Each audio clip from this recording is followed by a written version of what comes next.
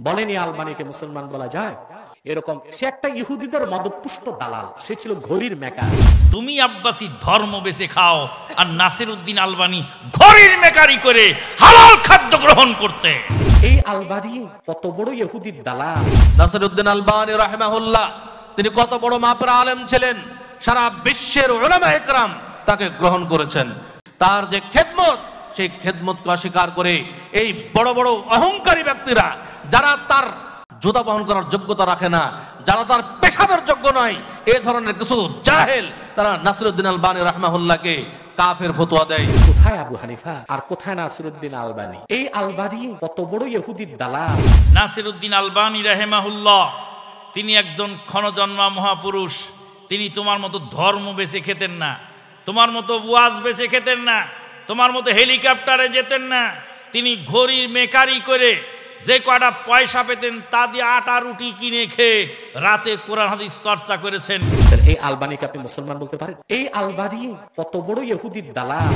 আমাদের দেশের কিছু কিছু যারা কথিত আলেম বলব যারা আলেম নামের কলঙ্ক এমন কিছু আলেম যারা নাসিরুদ্দিন আলবানী রাহমাহুল্লাহ তার মতো বিশিষ্ট মহাদ্দেশকে অমুসলিম ঘোষণা দেয় ইহুদিদের দালাল ঘোষণা দেয় আল্লাহ তাদেরকে হেদায়ত দান করুন।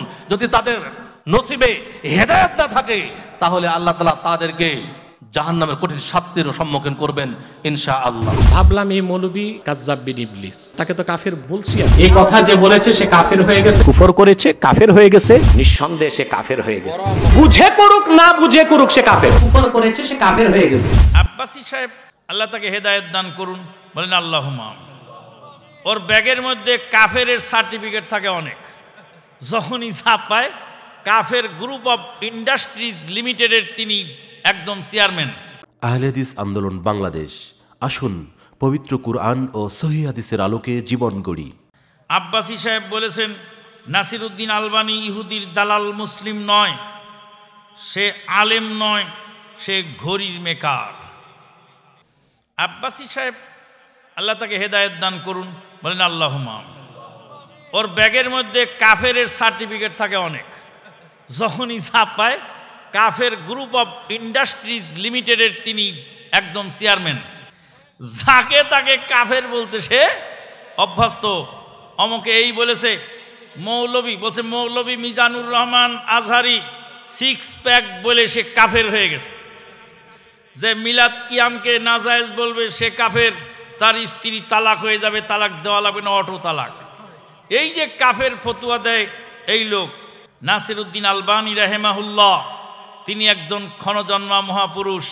তিনি তোমার মতো ধর্ম বেছে খেতেন না, তোমার মতো ওয়াজ বেছে খেতেন না, তোমার মতো হেলিকপ্টারে যেতেন না। তিনি ঘড়ির মেকারি করে যে কয়টা পয়সা পেতেন তা দিয়ে আটা রুটি কিনে খেয়ে রাতে কোরআন হাদিস চর্চা করেছেন। আল্লাহ পাক তাকে কবুল করেছেন আল্লাহ আল্লাহ আল্লাহ আল্লাহ তাকে জান্নাতবাসী করুন। নাসির উদ্দিন আলবানী রাহেমউল্লাহ তাকে বাংলাদেশে আনার জন্য, ঘটনাটা শুনে রাখেন ভালো করে।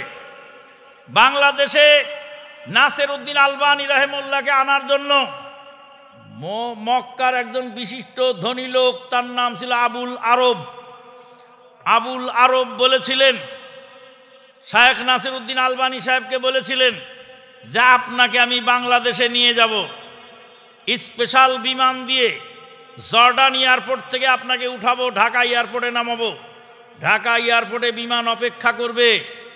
এরপরে আপনি যখন বাংলাদেশে আহলাদিস কনফারেন্সে বক্তৃতা দিয়ে শেষ করবেন, তখন ওই বিমানে আপনাকে আবার রিটার্ন জর্ডানে পাঠাবো। আপনাকে স্পেশাল রিজার্ভ বিমানে আনব এবং নেব, যত খরচ লাগে আমি দেব। নাসিরুদ্দিন আলবানী রাহেমুল্লাহ জবাব দিয়েছিলেন, বাংলাদেশকে দেওয়ার মতো ১৩ ঘণ্টা সময় আমার হাতে নেই। বাংলাদেশকে দেওয়ার মতো ১৩ ঘণ্টা সময় আমার হাতে নেই।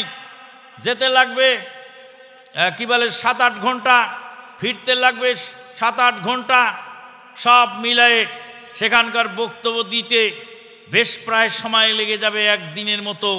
এত টাইম আমার হাতে নেই, আমি হাদিস কোরআন লিখছি, তামাম বিশ্ব উপকৃত হবে আমার এই হাদিস কোরআন দ্বারা। আর তুমি বক্তা হেলিকপ্টার নিয়ে চলো, আর তুমি নাসির উদ্দিন আলবানির সমালোচনা করে লজ্জা করে না তোমার? তুমি জেনে রাখো, ইমাম আবু হানিফা রাহিমাল্লাহ তাঁত ফ্যাক্টরির মালিক ছিলেন, তিনি কাপড়ের ব্যবসায়ী ছিলেন। তাহলে ইমাম আবু হানিফা রাহিমাল্লাহ কাপড়ের ব্যবসায়ী ছিলেন, সে তো ইমাম। কিন্তু নবী রাসুলগণ, জাকারিয়া ছিলেন কাঠের মিস্ত্রি। কিসের মিস্ত্রি? কোথায় আছে হাদিস? সই মুসলিম। ওয়াকানা জাকারিয়া নাজ্জারা। সই মুসলিমে আল্লাহ নবী বলছেন, জাকারিয়া আলাইসাল্লাম ছিলেন কাঠের মিস্ত্রি। একজন নবী ছিলেন কাঠের মিস্ত্রি আর দাউদ আলাইসাল্লাম ছিলেন লোহার কামার। তুমি আব্বাসি ধর্ম বেছে খাও আর নাসির উদ্দিন আলবানি ঘরের মেকারি করে হালাল খাদ্য গ্রহণ করতে। বেয়াদব, আল্লাহ তোমাকে হেদায়েত নসিব করুক। দুঃখের বিষয় হলো, আমাদের দেশের কিছু কিছু যারা কথিত আলেম বলব, যারা আলেম নামের কলঙ্ক, এমন কিছু আলেম যারা নাসিরুদ্দিন আলবানী রাহমাহুল্লাহ, তার মতো বিশিষ্ট মহাদ্দেশকে যার হাদিসের সহিজবের যাচাই যেটা করেছে, সারা বিশ্বের সকল মুসলিম আজকে তার হাদিস মেনে চলছে। অথচ এক শ্রেণির আলেম, এক শ্রেণির জাহেল আলেম, তারা কি করছে? তারা নাসিরুদ্দিন আল বানী রহমাহুল্লাহকে তারা মনে করছে যে কিছুই জানে না।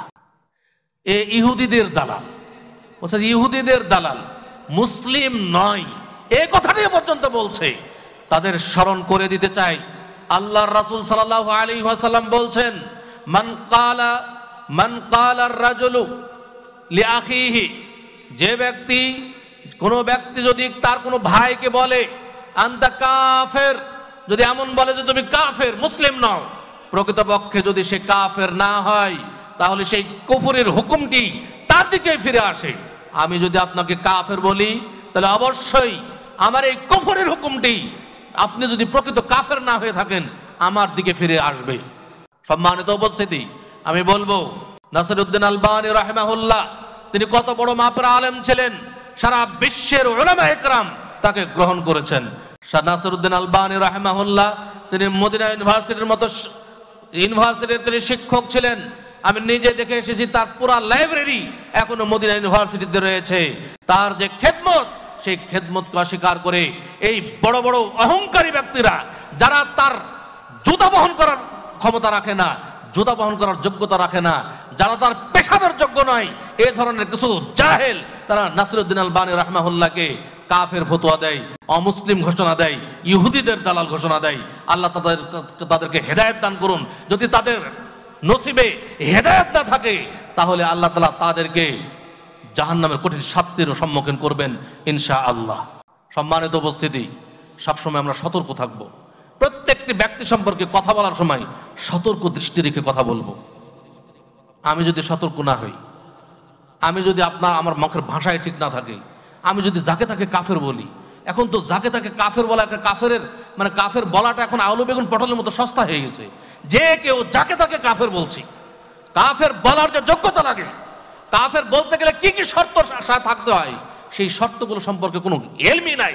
এমনিতে যাকে তাকে কাফের বলে।